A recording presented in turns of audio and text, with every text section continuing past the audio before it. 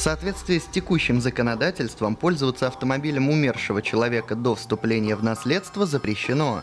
И даже если на руках имеется полис ОСАГО, ведь его действие прекращается с момента ухода из жизни собственника транспортного средства. Но даже несмотря на это, некоторые автомобилисты все-таки выезжают на дорогу на машинах своих покойных близких. При этом они не считают нужным оплачивать штрафы, выписанные с комплексов автоматической фото и видеофиксации. А зачем, если они все равно приходят на имя умершего? Есть даже в практике, когда у э, нашего доверителя автомобиль остался от умершего супруга, и э, вторая половина достаточно долго пользовалась автомобилем, нарушала правила дорожного движения, и фактически э, количество штрафов уже превышало достаточно солидную сумму в полмиллиона рублей. Понимая, что недобросовестные водители пользуются пробелом в законе, ГИБДД начала противодействовать. Толчком послужила авария на Бутырской улице в Москве, когда по вине автомобилиста погиб один человек.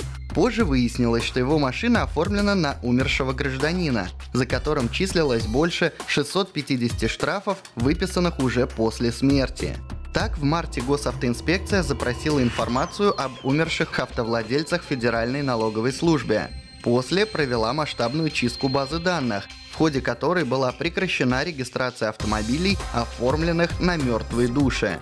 Но каждый раз так делать невозможно. Процесс необходимо автоматизировать. И не только технически, но и законодательно.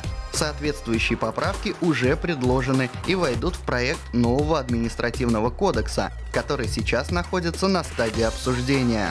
Да, вот этот пробел законодатели уже предусмотрели, и вот в новом КАП он должен войти э, в силу и дать возможность вот таким образом сотрудникам ГАИ на упреждение работать. Если умер человек, это появляется в базах, и в этом случае сразу должен быть аннулирован учет транспортного средства на указанное лицо. Сегодня максимальный штраф, который грозит водителю за управление автомобилем, оформленным на умершего человека, 800 рублей. Именно такое наказание предусмотрено за езду без полиса ОСАГО. Если же автомобилиста поймают за рулем уже снятого с учета транспортного средства, то ему на первый раз выпишут штраф на сумму от 500 до 800 рублей, на второй – на 5000 рублей или лишат водительских прав на срок до трех месяцев.